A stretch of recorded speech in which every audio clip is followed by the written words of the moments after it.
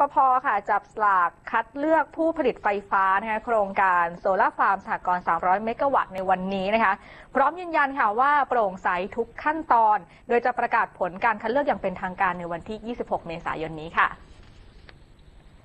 วันนี้ค่ะคณะกรรมธิอ่ากรรมการกำกับกิจการพลังงาน หรือว่ากกพนะคะมีการจับสลากโครงการผลิตไฟฟ้าจากพลังงานแสงอาทิตย์ แบบติดตั้งบนพื้นดินนะคะสำหรับสหกรณ์การเกษตร หรือว่าโซลาร์ฟาร์มสหกรณ์การเกษตรค่ะที่ผ่านคุณสมบัติ 167 ราย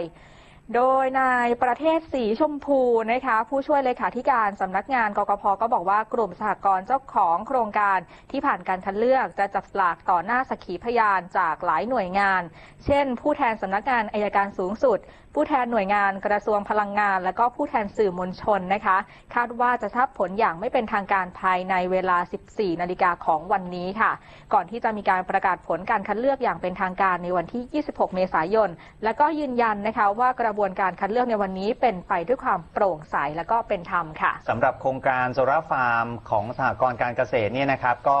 มีผู้ที่ผ่านคุณสมบัติรอบแรกถึง 167 รายครับ แล้วก็มีกำลังการผลิตรวม 835 เมกะวัตต์ โดยจะคัดเลือกให้เหลือเพียง 300 เมกะวัตต์เท่านั้น แล้วก็จะนำไปดำเนินการในต้นปี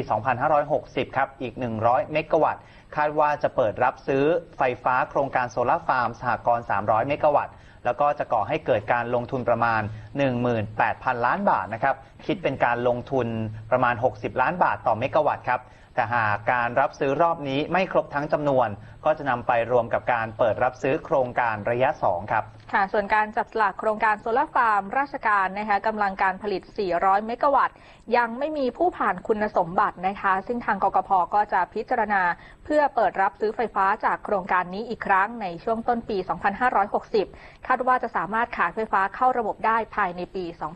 2561 ค่ะ